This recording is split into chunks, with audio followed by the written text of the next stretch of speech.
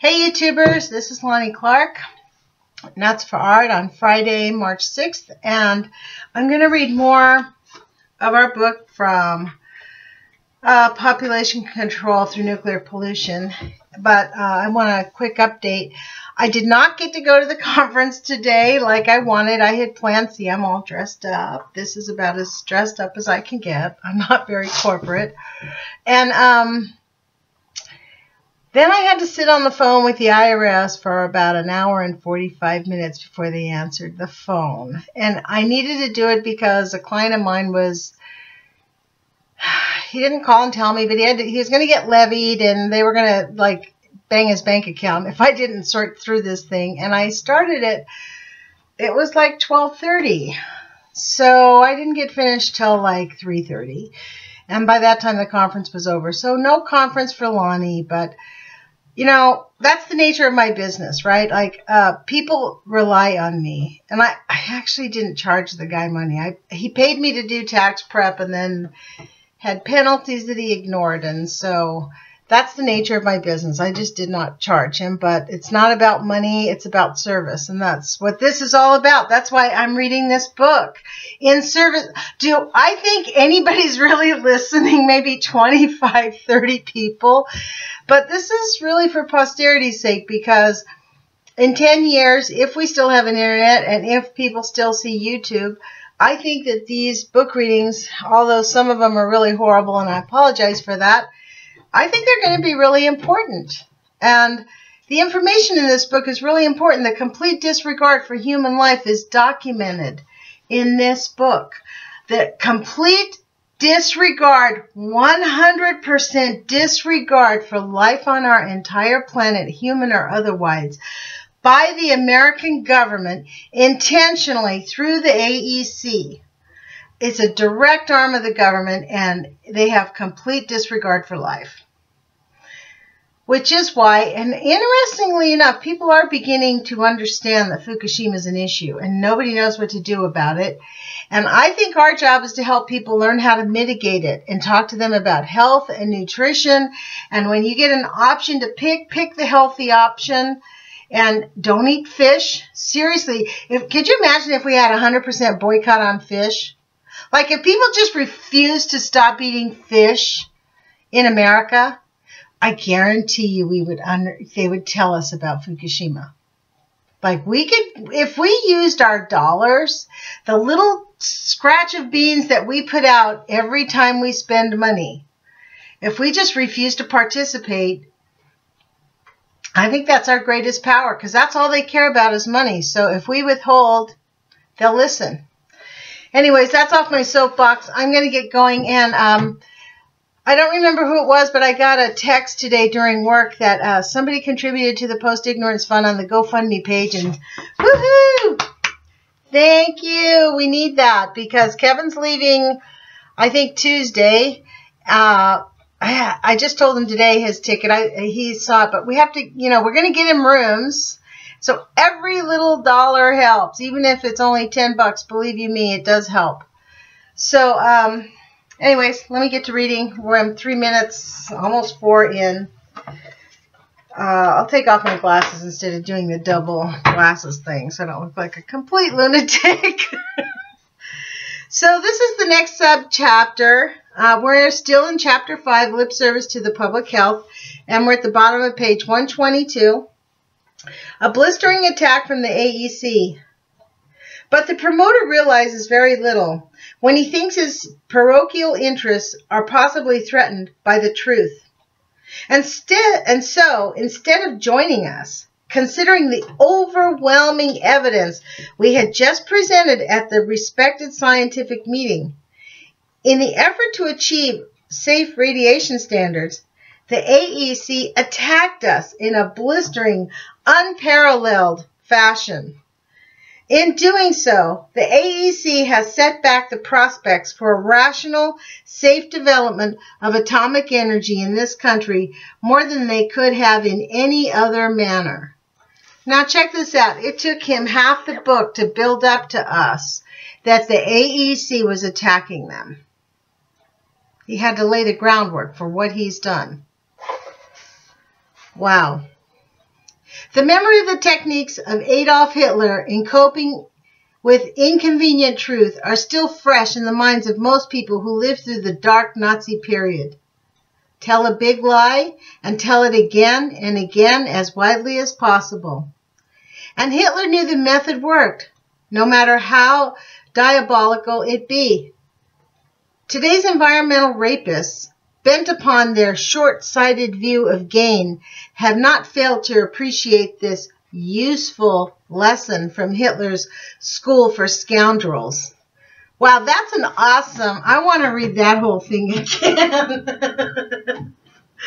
Today's environmental rapists, bent upon their short-sighted view of gain, have not failed to appreciate the useful lesson from Hitler's School of Scoundrels. That is awesome. School for Scoundrels, not of. School for Scoundrels. Today's environmental rapists, that's exactly what they are, environmental rapists. No matter, and no, today's environmental rapists, bent upon their short-sighted view of gain, exactly, have not failed to appreciate the useful lesson from Hitler's School for Scoundrels. Sorry, I just had to keep reading that, you guys. I'm sorry. Thus, far from helping us protect the public health and welfare, a task the, AE, the AEC itself has assigned to us. The AEC unleashed a blistering attack upon us with slander, ridicule, and denial, with everything but any valid evidence refuting our findings. And that is in italics. With everything but any valid evidence refuting our findings. Gone completely were the pious phrases of AEC about, we want you to tell the truth. Faced with a threat to its bureaucratic parochial interests in selling its ware, the AEC clearly demonstrated that when the chips are down on questions of protecting human beings and their environment, the promotional huckster role wins out handily over the public protector role. wow. We are not critical of the AEC, nor of the apoplectic reaction of its officials, sputtering and fuming insults at us for telling the truth. We were shocked, but gradually came to realize that when the AEC that the AEC officials are victims of having been placed in a hopeless quandary by the Atomic Energy Act, which assigns them two conflicting irreconcilable roles promoter, and protector.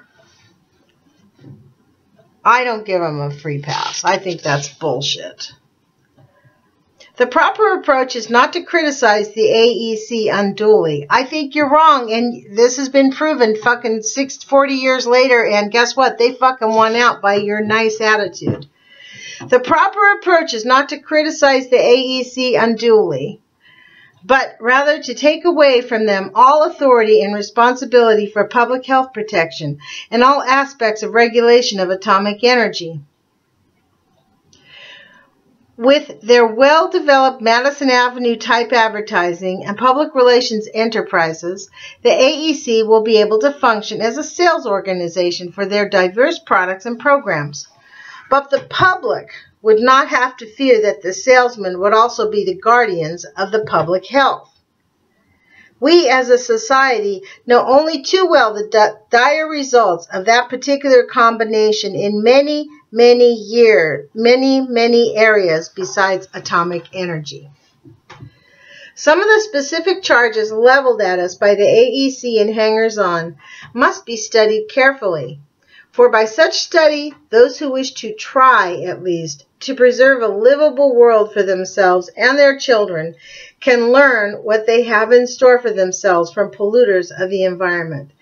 That's exactly why I'm reading this book. Unprofessional conduct. This is in quotes. Unprofessional conduct. Presenting their findings in the newspaper instead of as a scientist as a scientist should. That's what we were charged with. Well, as related above, we were guest speakers at one of the most eminent scientific meetings on the subject of nuclear science and the environment. That's in that's the title of the of the meeting that they were at. It's in capitals. Nuclear science and the environment. Could a more professional and appropriate forum of presentation be imagined? Nothing new, it was said. If there was nothing new, why were all the AEC cannons roaring, even though ineptly aimed? or are we to assume that a radiation hazard of 10 to 20 times as much cancer and leukemia as had previously been expected is nothing new? What we wonder would be something new for the AEC officials. A hundred times as much cancer? A thousand times as much cancer? Ten thousand times as much cancer? Just what would it take to worry the AEC about hazards to human beings? In quotes. The experts considered all this already, unquote. Indeed, known to us, a group known as the Task Force for the International Commission on Radiological Protection had reviewed the new evidence. When we saw their publication two months after our presentation, we were most gratified to find that our number, our numbers compare our, I'm sorry about this, you guys. When we saw their publication two months after presentation, we were most gratified to find our numbers comparable to those of the task force. Had we not done our work, they would have reached essentially our conclusions. So the quote, experts, unquote, agree with us. In quotes again, scientifically indefensible, unquote. We are scientists. We know the appropriate way to determine the validity of scientific conclusions is to present them so that other scientists can review the findings and challenge them. We were delighted to make our conclusions available for other scientists to agree with or refute. We are still waiting for the first bit of scientific evidence to refute any of our scientific presentation. The words scientifically indefensible, shouted by wounded atomic hucksters, can hardly be called scientific refutation. End quotes. The benefits outweigh the risks. Therefore, Gofman and Tamplin are wrong. Unquote. That's a real doll. The issue at stake is the risk of cancer and leukemia from radiation. Isn't it essential for AEC to at least try to calculate risk themselves and try to estimate benefits before announcing one outweighs the other? Besides, this had absolutely nothing to do whether our risk calculations are correct. In quotes again, AEC programs will never expose people to the allowable amount of radiation. Therefore, Gofman and Tamplin's calculations are wrong. Unquote. New subchapter. The first step is to reduce allowable radiation dosage. Our calculations describe how many extra cancers and leukemias will occur if everyone gets the allowable dose of radiation. The first thing we said in our presentation was that we should take steps immediately to see that they never do. And the one sound step is to take is to take and the one sound step to take is to reduce immediately the allowable amount before such exposure becomes possible. I'm going to stop there because my brain is swirling. I think I we, we read an idea tonight that we can actually lobby for now. We can actually lobby our elected officials to change the nuclear regulatory commissioners and separate their roles from being promoters and protectors of public health. Like they can't be promoters of of nuclear uh, industry. They can't be promoters of the nuclear industry while being protectors. And I, I'm going to do some homework because I have a feeling that that is why the Nuclear Regulatory Commission changed its name from the AEC. If anybody knows that, I'd love to hear the comments. But um, I think that was probably the goal in renaming the AEC the NRC, and because in Congress, every time you hear the Congress, whenever they have a hearing, they say, well, you're protectors of the public health. But I think what's missing, and maybe our own elected officials do not know that, is that it's not just protectors, they're promoters of nuclear in, of the nuclear industry. So if you have a if you have an industry that kills and harms and you're supposed to promote it and and promoting it makes everybody rich everybody that touches their finger even the lowly worker who works there makes a freaking decent salary than he could make anywhere else he or she could make anywhere else so everyone quote thrives except near the end of their lives then they all get cancer but just like us, that's what's going to happen to us. Except it's not just happening to us. Uh, who called me today? Brent Lusk called me and said his he knows two little girls that have cancer, and nobody around him believes that it's caused by radiation. Little girls don't get cancer. We don't just get cancer. Cancer is not something humanity had scourging us. It wasn't like the freaking plague. It's caused by man-made radiation, as this book has outlined. If you get into nuclear energy, you are going to give humanity cancer, leukemias, a host of other diseases. We're going to mutate our species. We're going to cause sterility.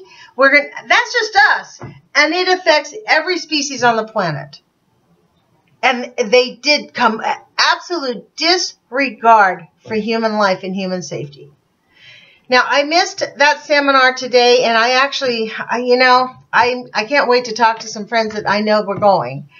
But um, I'm sorry that I wasn't able to report on it for you. But to be honest, I couldn't just walk away from my client and say, "Oh, I'll call them Monday," because if we didn't call them by today, it could, it was really seriously the last day and we had to call. And if I'd have gotten back at 4 o'clock or 5 o'clock, I'm not sure I could have gotten through. I've called at 4 o'clock often, and then 6.30, 7 o'clock, the phone hangs up and says, oh, call back Monday. So I made a value judgment call to stick through it with my client. Anyways, um, I'll end here. Ciao, you guys. Talk to you later. Put your courage feet on.